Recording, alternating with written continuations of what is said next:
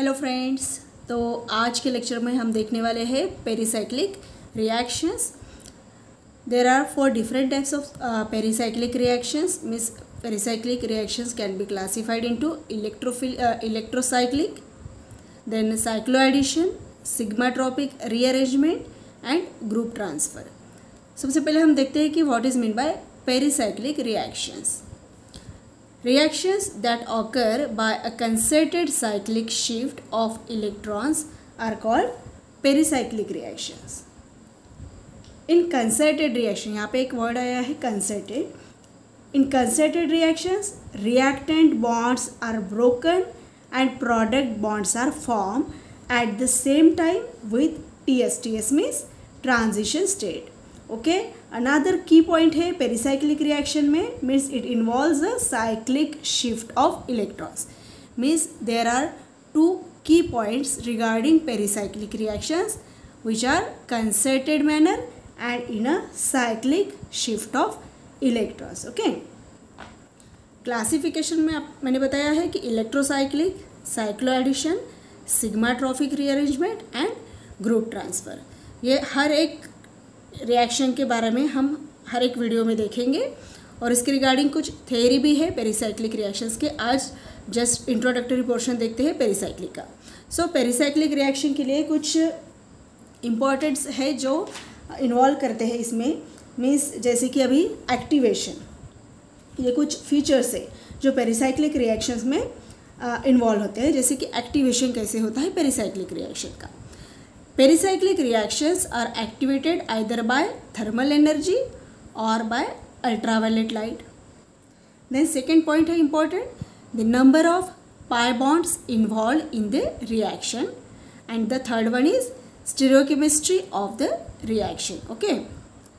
There are different theories which explain about pericyclic reactions and these theories are mostly asked in syllabus frontier molecular orbital theory that is FMO method then Woodward Hoffman rule and third one is Huckel Mobius or PMO method PMO means perturbation molecular orbital ये सभी theory एक एक करके हम देखेंगे in short ये theory में क्या बताया जाता है मीन्स क्या what are the importance of this theories so हम देखते हैं सबसे पहले कि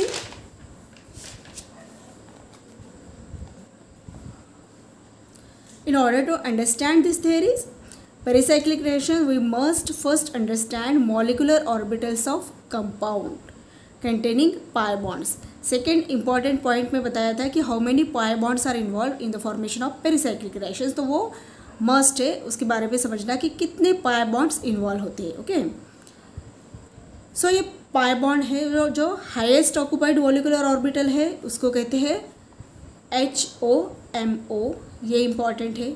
Then other is the unoccupied molecular orbitals of lowest energy known as lowest unoccupied molecular orbital that is L U M O HOMO and LUMO ये दो points important है.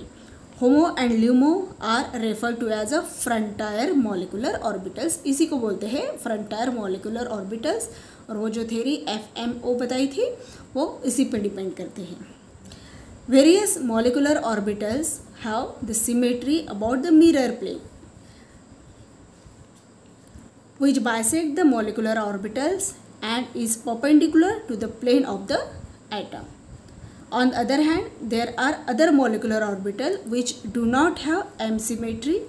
जो एम सिमेट्री नहीं है तो फिर कौन सी सिमेट्री रह सकती है? सेंटर ऑफ़ सिमेट्री तो दो टाइप की सिमेट्री देखने को मिलेंगी।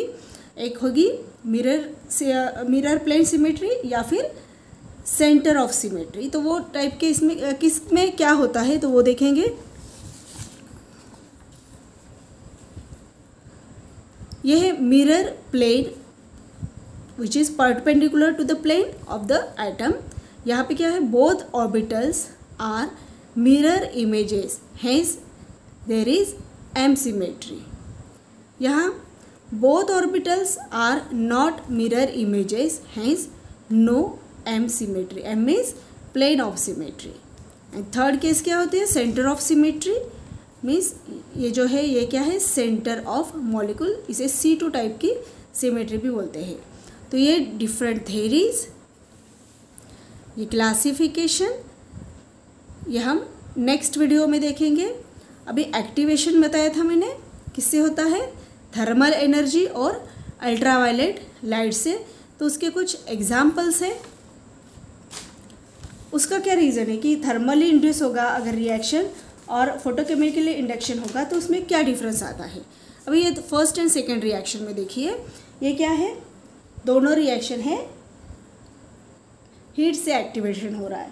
मीन्स थर्मली इंड्यूस है ओके तो first two reactions are thermal reactions activated by heat and third is photochemical reaction activated by light the relation between the mode of activation and stereochemistry is exemplified by comparison of this two examples है देखो, ये same example है।